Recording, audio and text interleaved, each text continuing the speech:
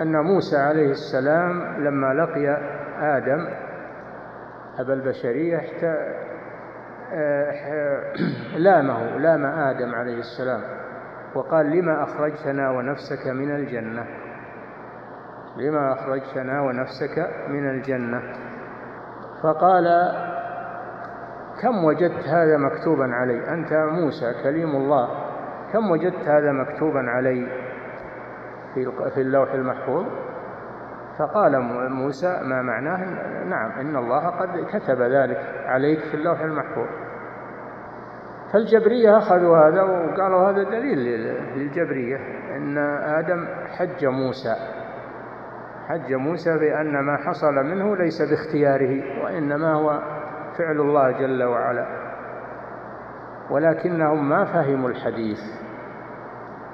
فموسى لم يحتج على آدم بالقضاء والقدر وإنما احتج عليه بالمصيبة التي حصلت لما أخرجتنا من الجنة. هذه المصيبة.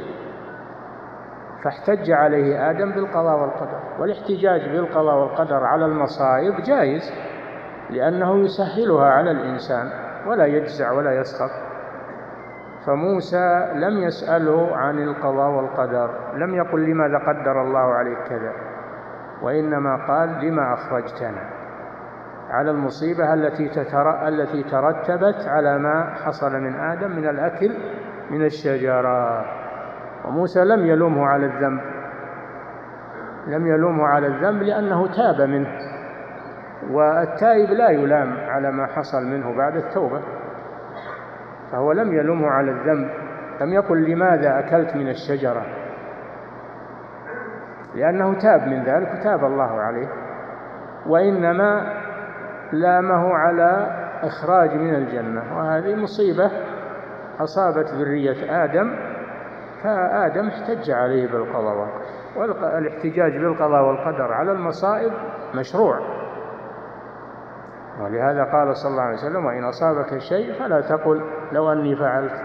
ولكن قل قضى قضى قد قضاء الله ولكن قل قدر الله وما شاء فعل. احتج بالقضاء والقدر على المصيبة لأنه ليس لك فيها اختيار إنما هي فعل الله. أما المعصية فهي ذنبك أنت لا تحتج بالقضاء والقدر. ولهذا قال العلماء يحتج بالقضاء والقدر على المصائب. ولا يحتج به على المعائب لا تحتج بالقضاء والقدر على الذنوب وإنما تحتج به على المصائب لأن الذنوب فعلك أنت. وأما المصائب فهي فعل الله جل وعلا ليست من فعلك. فهذا هو الفصل في هذه المسألة العظيمة. نعم.